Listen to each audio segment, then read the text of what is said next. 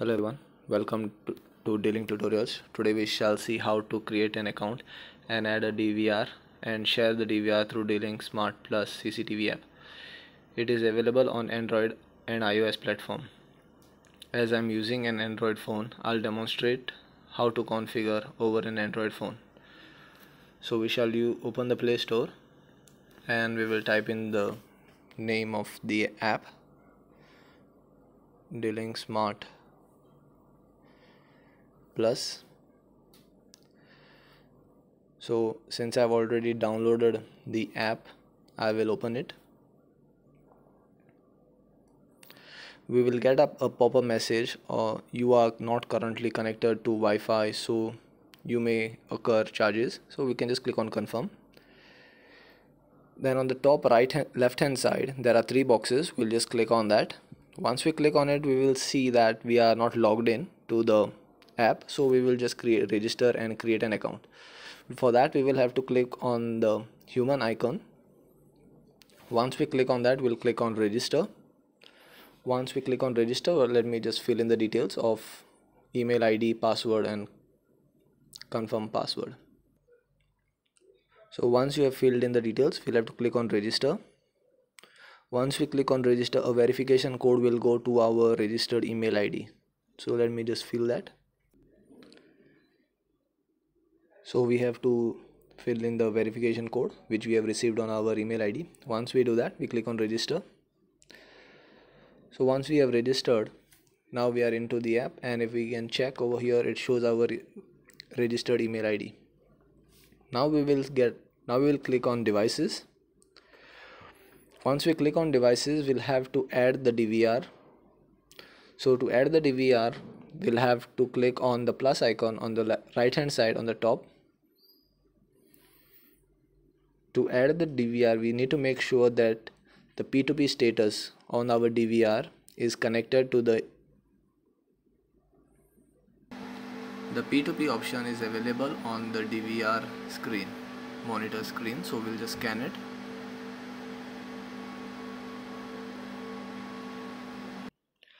For demonstration purpose, I have used uh, L series DVR. Hence, the cloud ID, once we scan the cloud ID, a verification code is automatically generated. If we are using an M series DVR, we'll need to fill in the username and the password of the DVR. We'll just enter the name that we'll be giving it to it.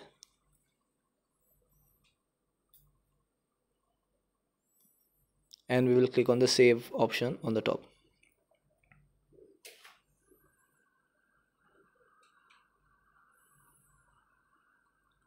Once we have clicked on the save we will see that the DVR is added over here. So we'll click on it and we'll click on start live view.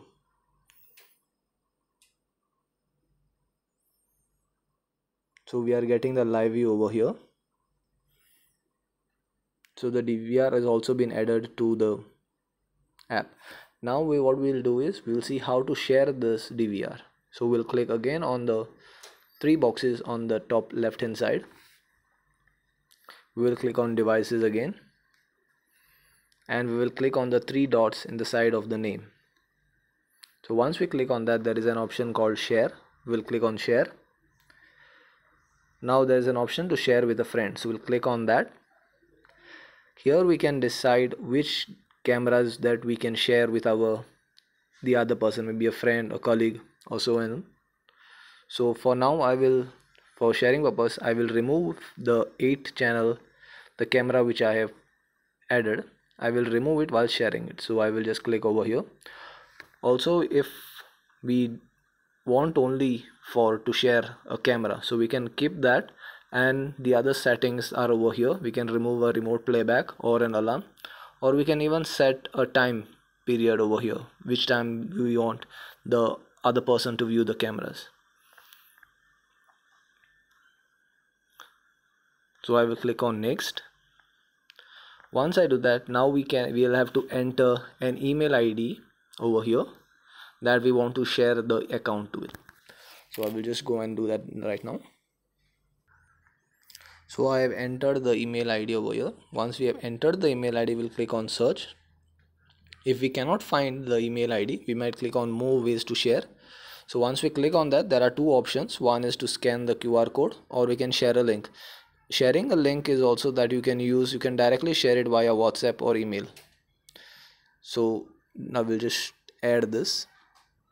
So once I click on account and click on share it will send a request to the other person's registered email ID